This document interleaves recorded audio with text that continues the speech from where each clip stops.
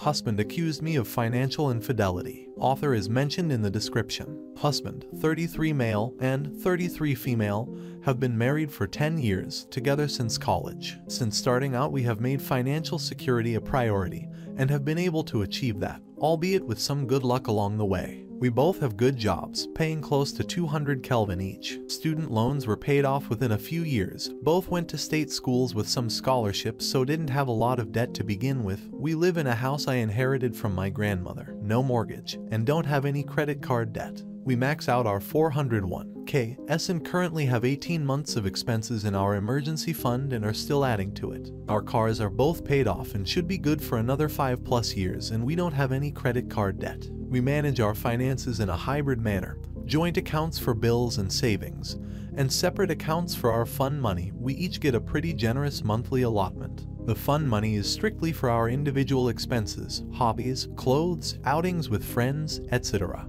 and not for things like date nights, vacations, or larger joint purchases like household appliances and repairs which come out of our joint account. We also agreed that if either of us gets any bonuses or has any side hustle income, those will go into our individual fund money accounts unless the funds are needed for a larger expense such as a major home repair. In terms of the fund money, my husband is much more of a spender than I am due to expensive hobbies, in particular golf and collecting sports memorabilia, and he's also more into designer clothes, which is fine. It's his fun money. On the other hand, my hobbies are a lot less expensive, running, working out, reading, baking. In general, I'm more introverted and a great time for me is tea with a friend at one of our homes, with homemade pastries. I have also been getting back into gaming lately after setting it aside for much of the past decade while building my career. After realizing I had more than enough in my fun money account, I decided to overhaul my gaming setup and got myself a new PC, desk, and gaming chair,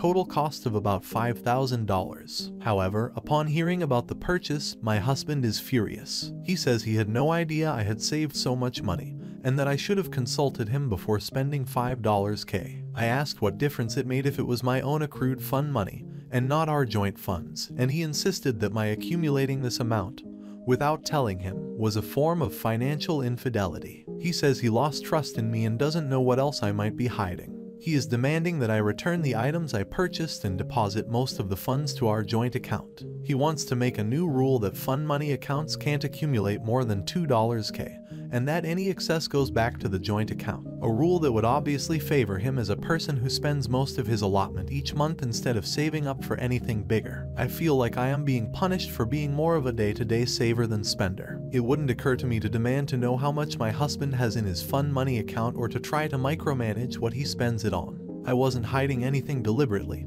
He never asked about it until after I made the purchases. Still, maybe I should have been more transparent about my plans. So am I the asshole? Miscellaneous info. Husband and I each have our own office, hobby room in the house so it's not like the gaming setup was going in a space he uses. I don't usually game when my husband is home unless he's already busy doing something else. My biggest block of gaming time is typically when he's off playing golf. Also, I run Fortiminus 50 miles a week so it's not like I am generally sedentary. I can't think of a good reason why he would object to me gaming or having a nice gaming setup in my own space in the house. Update, my husband finally calmed down enough to have a conversation with me. As many others who provided comments suggested, it wasn't really about the money, but a window into larger issues in our relationship. Essentially, my husband has been feeling increasingly unhappy with me for a while, for the following reasons. In general, he feels that he's a lot more committed to his career development than I am to mine. It's true that although we currently have about the same income, the ceiling for his field, finance, is a lot higher than the one for mine,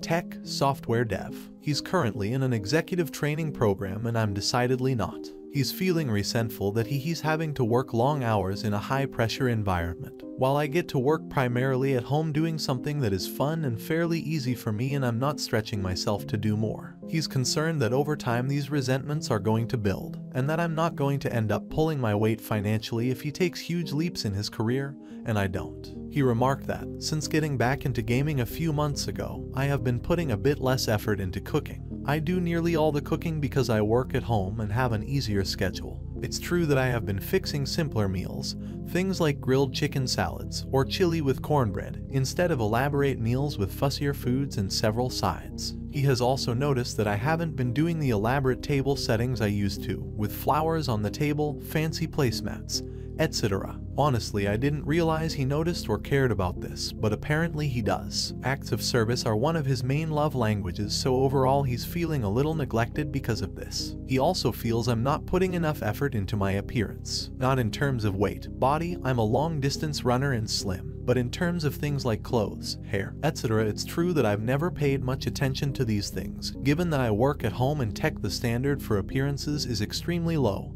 and I far exceed that. I tend to buy simple, practical clothes at places like Target and Walmart, don't wear much makeup and keep my hair in a simple ponytail. I do glam up a lot more for date nights and other dressy occasions, but most days he comes home from work to find me in a t-shirt and yoga pants with no makeup, and he wants me to make more of an effort. The bottom line is that because of all these things, he's starting to notice other women, says he hasn't cheated. He's just noticing other people because he's regularly disappointed in me. In particular, given that he works in finance, there are a good number of very career-oriented type of women who manage to have fantastic bodies, be effortlessly polished and glam, and have more interesting hobbies. He also says he feels horrible about all this because he knows I am a good person, and that he's being judgmental that it's not so much I've changed as that his own goals and expectations have changed in the past couple years. The financial infidelity part came into it because he feels I'm not really investing in myself and our relationship,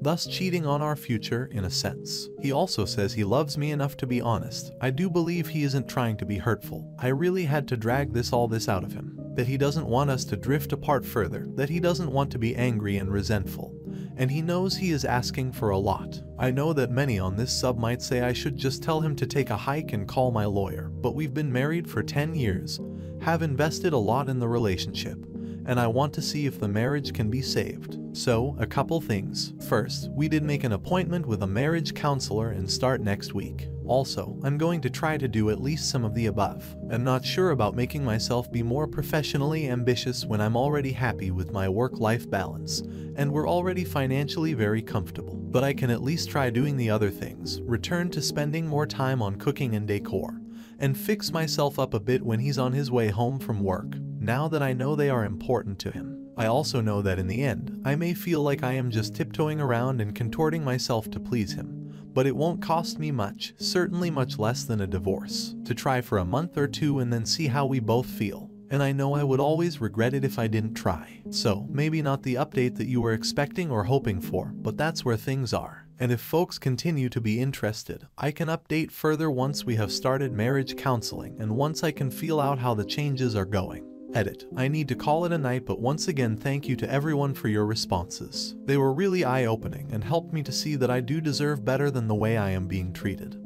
and that the expectations my husband is laying out for me are unfair and unrealistic, especially as he isn't doing anything at all to make it easier for me to meet them or to show me he appreciates my efforts and everything I do bring to the table. I am indeed conditioned to be very people-pleasing and that is impacting what I think is reasonable here. I have a lot to think about, such as, what do I really want here? What is going to make me happy, especially if I have to keep making myself smaller, metaphorically speaking, and contorting myself to please my husband? Do I really want to be in a marriage under those conditions? I think I'm really selling myself short if I just agree to most of what he demands. Still going to go to the marriage counseling appointment but I think I will wait to make any other changes until we can at least get some professional input. Update. Hi also I have an additional and probably not very surprising, update to my saga. So, the more I thought about it, the more his requests, demands, really were sitting poorly with me. I decided to try a little experiment over the weekend to see what would happen if I tried to meet some of his demands. Not because I actually thought they were reasonable, but because I increasingly had the sense that the goalposts would just keep moving and that I was playing a losing game.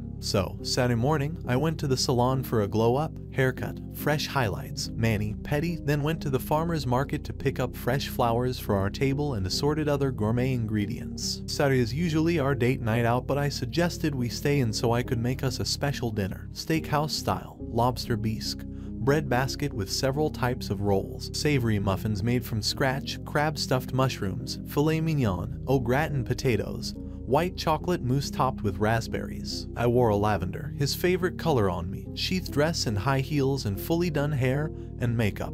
For all that I got a lukewarm thanks, it was tasty and a kiss on the cheek. Of course I did all the serving and cleanup. Sunday we usually go out but he suggested I make us brunch at home. So I made French press coffee, mimosas with fresh squeezed orange juice, Belgian waffles with a bananas foster topping, eggs scrambled with parmesan and fresh herbs from our garden, roasted fingerling potatoes, and maple glazed bacon. I wore a blue sleeveless sundress, wedge sandals, again did my hair and makeup.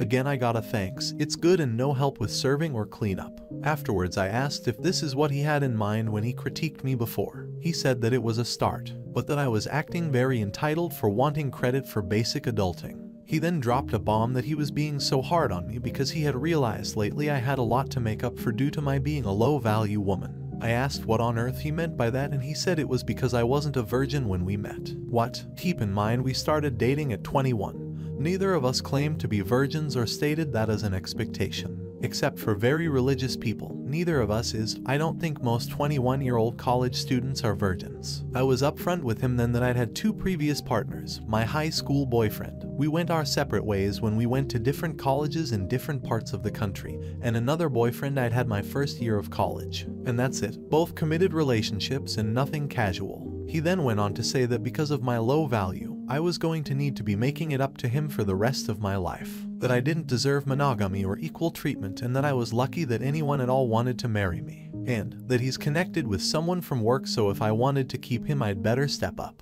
I told him it didn't sound like there was anything to keep if he no longer loved me or even liked or respected me. Told him to leave and he said he would gladly go to his girlfriend's place. I know so many people here insisted he was having an affair, and I just didn't want to see it. That his complaints were really all part of a campaign to distance himself from me. I feel so foolish for just thinking he was going through a stressful time at work or that he genuinely wanted to work on our marriage. Anyway, I have taken the week off from work to get my head together. Have an appointment with a lawyer tomorrow canceled the marriage counseling appointment but got a referral to an individual therapist who can do an intake session with me later in the week. He and the girlfriend apparently are coming this evening to get more of his clothes and things so I have to brace myself for that. Also, please be assured I do not think I am low value in any way. I let my husband make me think less of myself on some levels for a short time but now I truly see it was a him problem. Obviously, we don't share the same goals and values and he has become someone I don't recognize. I know the divorce won't be fun or easy, but I will be okay. Thank you all for helping me see that I was being played before I wasted too much more time in a marriage that was already over. Relevant comments. One last gem from the husband.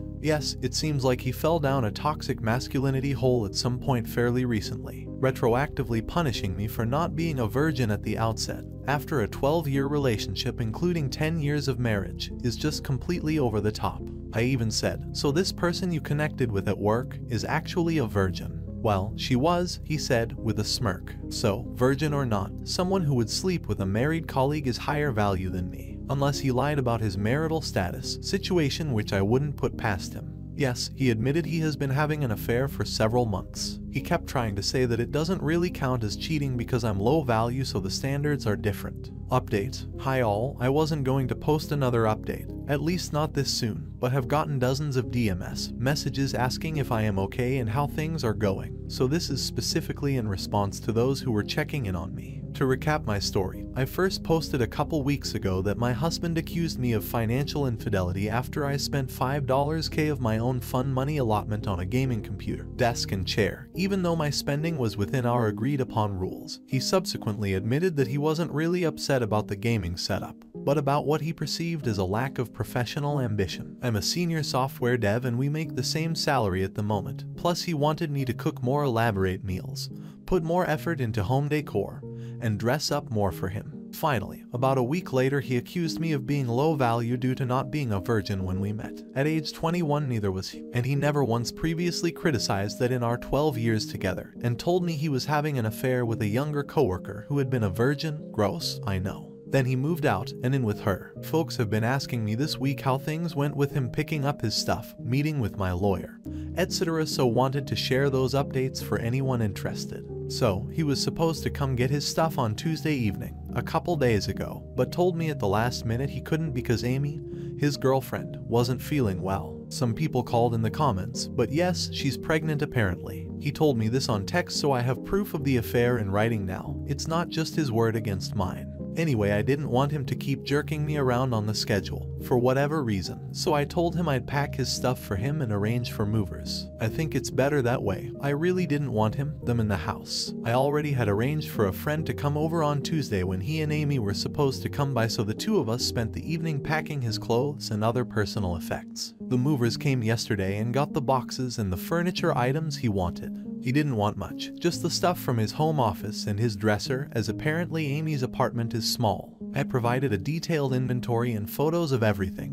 which he approved, so he can't say that I broke or otherwise ruined his stuff. After that, yesterday I went to the clinic to get STD tests. Won't have the results for a week or so, but thankfully I haven't had any symptoms, and met with my lawyer, who said I had a good case for grounds of adultery and mental cruelty if I want need to go that route. At a minimum, it's leverage to get him to settle quickly and quietly. Also lock down all the finances within the parameters provided by the lawyer so that he can't empty our joint funds or take anything that belongs to me changed account beneficiaries and all that fun stuff. Changed the locks to the house too. I decided to take the advice of some of the commenters and I'm getting rid of the bed and other bedroom furniture I shared with him. I'm donating it. Someone is coming this afternoon to haul it all off and I'm going to completely redecorate the bedroom to my own taste.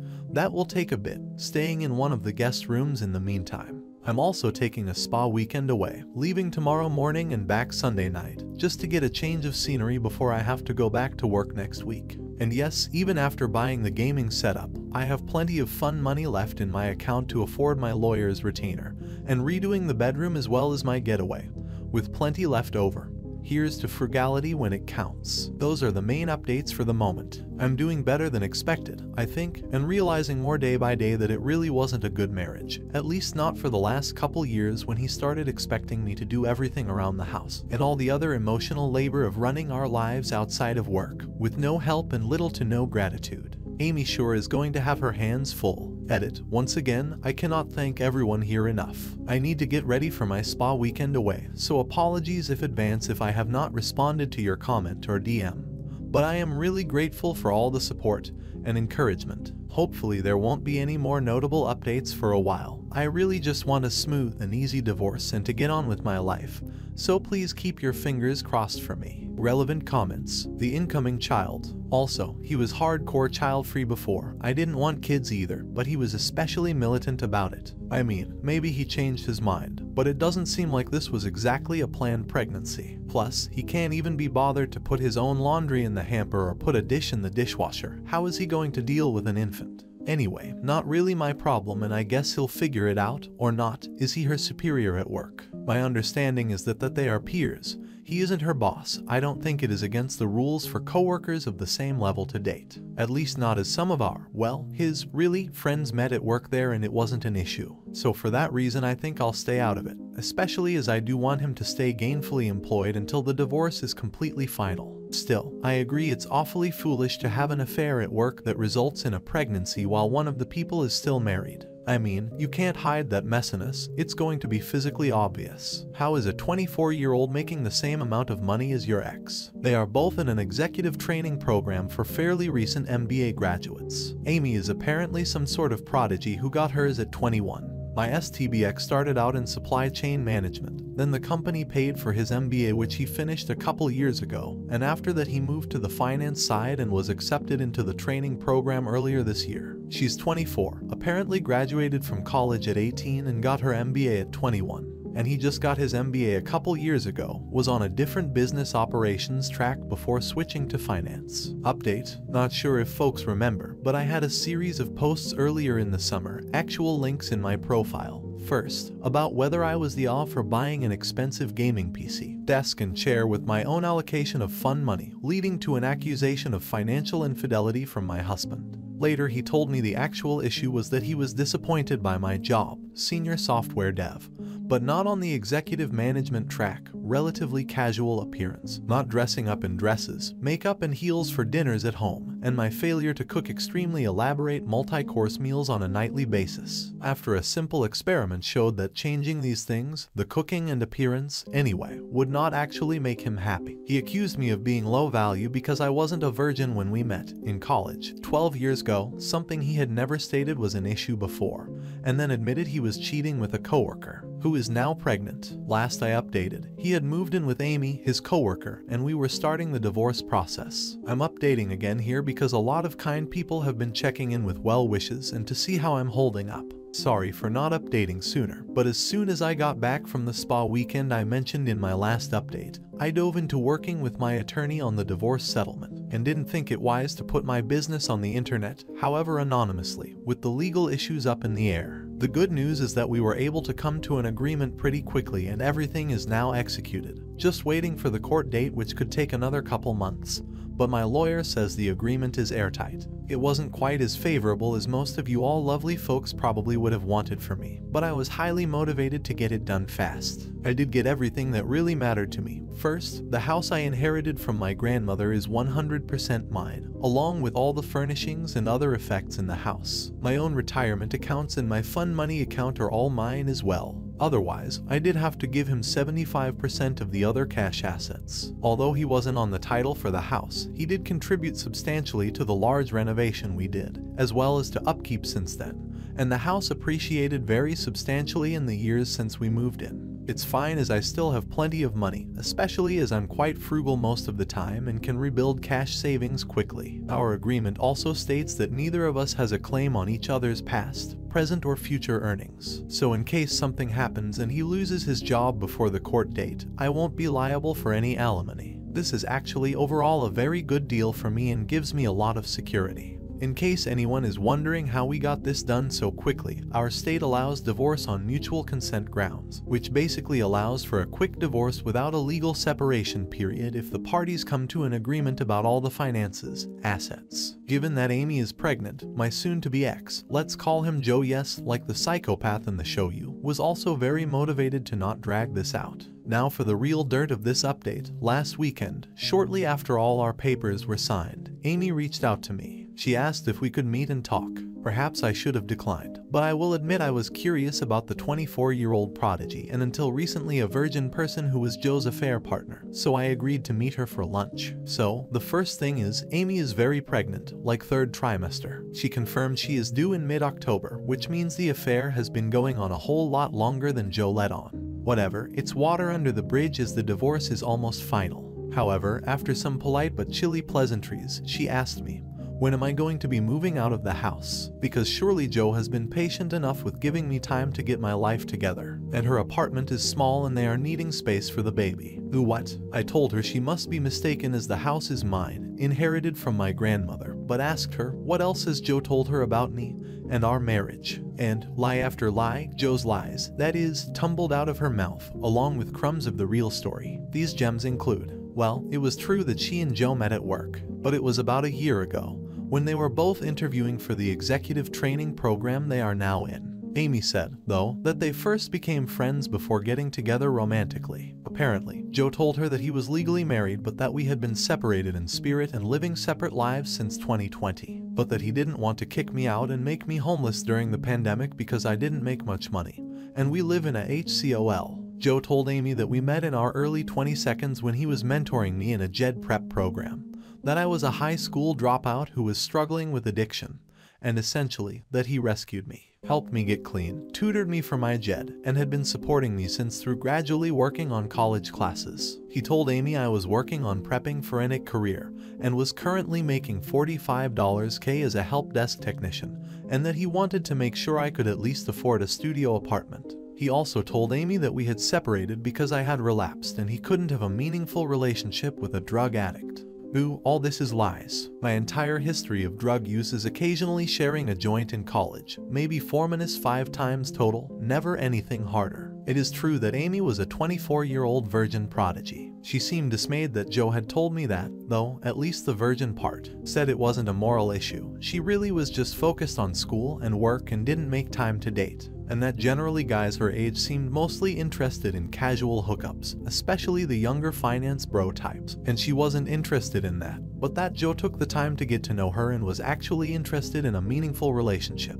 I asked her if the pregnancy was planned. She said no, of course not, but it was a miracle because Joe had a vasectomy, so they took that as a sign that they should keep the baby. Ooh, no, Joe did not have a vasectomy. As we were planning to be a child-free couple I suggested it a couple times over the years. He firmly stated he didn't want to alter his body like that, so he left birth control as my responsibility. So, it really does seem that Amy is pretty blameless here. I mean, those of us who have been around the block would likely know not to believe a guy who claims to be separated but is still legally married and living with his wife. But without her having any dating, relationship experience I can see where she would have taken him at his word about everything. After all, I didn't know anything was amiss with Joe until a couple months ago, and I was married to him. Of course Amy didn't want to believe me, and I don't blame her for that either. After all, she's been in a relationship with Joe for close to a year and is 7 plus months pregnant with his baby, who is coming soon, ready or not. I couldn't immediately refute everything she said,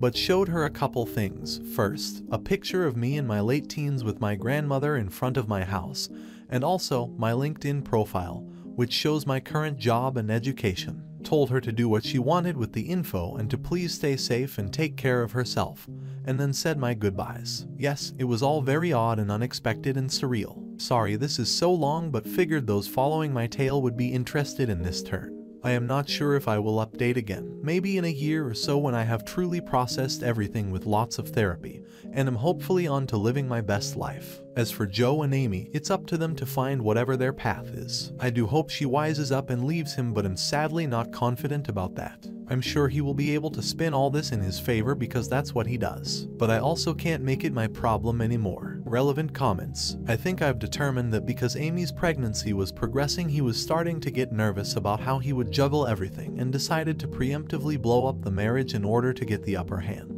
So none of those things were genuine critiques, they were just designed to throw me off balance. How did she take it when you said you own the house? She didn't really believe me about the house and said she was going to have to talk to Joe about it. She said she hoped I would think about it and not be so stubborn and that the offer remained open to take the money she offered to move out by the end of September. Maybe the reason he didn't have more fun money was that he was spending it on her. Oh yes, definitely. A lot of the golf days were actually spent with her, not golfing, and he only played golf once or twice a month, not weekly as he represented to me. Apparently, he convinced her that the reason he could never spend the night with her during most of the past year before he moved in with her was that I tended to get high in the evenings and he was always worried I would OD if he wasn't there to keep an eye on me. Did you tell her he didn't really have a vasectomy? I did tell her, but her answer to that was to insist that he did have one.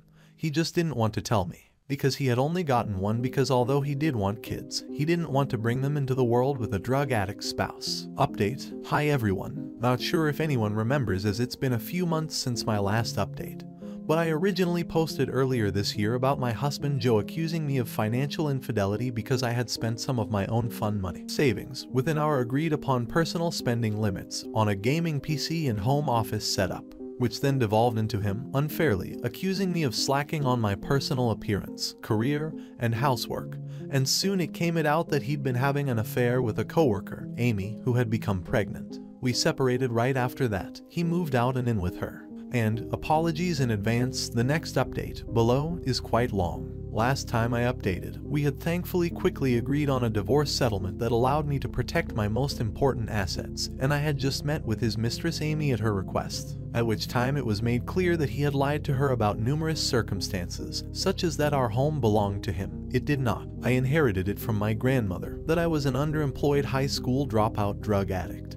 I'm not. I have a master's degree and a high-paying tech job. That we'd been separated in spirit for years. Also not true. I didn't know anything until he blurted out the news about his affair over the summer, and that he had a vasectomy. He did not. We talked about it but he decided not to despite us, him in particular, not wanting kids. I told her the truth and even provided as much evidence as I had on me, but she didn't seem believe me and went on home to Joe. I know quite a few people have been reaching out for more news, but I wanted to wait until my divorce was finalized to avoid risking any complications, and also just thought it best to let things settle for a bit. The good news is I'm now divorced. The final decree came through a few weeks ago, It actually all went very smoothly. I'm eternally grateful to live in a mutual consent divorce state that allows divorcing couples to proceed quickly if they can come to an agreement on finances and property. On the Joe, Amy front, after my last post, all was quiet for a couple weeks, until Amy, her due date quickly approaching, reached out again to ask if I'd given any more thought to her offer to pay me $17k to vacate the house quickly so that she and Joe could move in. Again, this is the house I inherited that I own free and clear, but Joe told her he owns it and that he was just giving me time to get my finances together before evicting me. At this point, I decided to package up a lot more evidence of Joe's lies to send on to Amy. I sent her a copy of the deed and property tax records showing the house is in my name only. I sent her copies of my diplomas to prove I am not a high school dropout. I sent her some info on various professional associations I am involved in and awards I have won to show I actually do have a senior level job and am not underemployed, as well as proof of my income. I sent her copies of all my drug test results for the past five years. I have a drug-free workplace and have to test 2-3 times a year to show I am not an addict. I sent her time-stamped photos and text exchanges to show that Joe was still having a romantic relationship with me until July this year, nothing salacious, just photos of us showing G-rated affection, exchanging loving words over text, etc. I even found a text exchange from a couple years ago when we last discussed him potentially getting a vasectomy, with his final decision not to proceed with one. A couple days later she responded, she believed me. However, in the end it didn't matter as Joe convinced her he had lied for very good reasons. The way they both tell the story, they met at work and were incredibly drawn to each other in a way that felt inevitable. However, due to Joe being married, he felt that if Amy knew he was, to that point, happily married she would either turn away from him and miss out on the love of a lifetime, or she would go ahead with an affair, but be consumed with guilt. So, to avoid either of these outcomes, and especially to save Amy from guilt, Joe decided to create an alternative narrative in which he was in a marriage that had ended for all intents and purposes years ago, in all ways but legally, because I was an uneducated addict who kept relapsing and couldn't get my life together. That was she could essentially believe he was single. How noble of Joe to bear all the guilt alone divided by S. Unfortunately, Amy said she understood and forgave him immediately. With a baby due any day, I suppose I can sort of understand the desire to justify the lies, even thought the reality is horrifying. I suppose it's also not my problem anymore. Amy did have her baby over a month ago and I guess she and Joe will make whatever life together, or not, is meant to be. As for me, I'm doing very well. Actually got a big promotion at work, not managing people which I don't want to do but will be working on higher profile projects with a 40% raise, which starts after the new year. The house is really big for just me, so I have a couple roommates now, a friend who is also going through a divorce moved in, as well as a younger, mid-20 cousin who moved to the city for work. We're all having a lot of fun together. I'm not really ready to date yet, still in therapy processing all the marital fallout, but getting there and looking forward to whatever new adventures life has to offer. This will probably be my last post, in this series anyway, as the saga of Joe and Amy, or at least my role in it, is finished. With us legally divorced and having no ongoing financial or other ties, the best thing I can do is leave them to their own story and get on with my Joe Free next phase.